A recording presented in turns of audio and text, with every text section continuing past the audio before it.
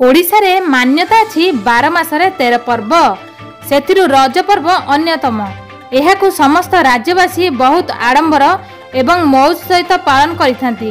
କିନ୍ତୁ ଏହି କରୋନା ସେ ସବୁଥିରେ ପୂର୍ଣ୍ଣଛେଦ ଲଗାଇଥିବା କ୍ରମେ ଗୋଟେ କୁନି ପିଲା ଏକାକୀ ରଜ ପାଳନ କରୁଥିବା ବେଳେ ସେ ତାର କୌତୁକିଆ କଥାରେ କ'ଣ କହୁଛି ଚାଲନ୍ତୁ ଶୁଣିବା।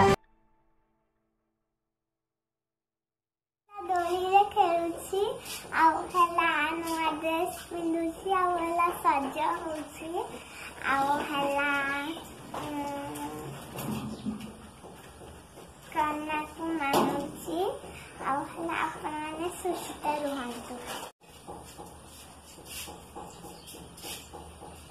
ତମେ ଆଜି ରଜ ଉତ୍ସବ କେମିତି ମନାଉଛ ମୁଁ ହେଲା ଦୋଳିରେ ଖେଳୁଛି ଆଉ ହେଲା ନୂଆ ଡ୍ରେସ୍ ପିନ୍ଧୁଛି ଆଉ ହେଲା ସଜ ହଉଛି ଆଉ ହେଲା